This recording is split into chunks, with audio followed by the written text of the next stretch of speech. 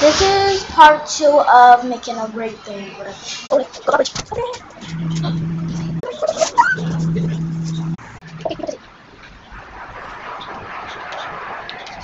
Sour.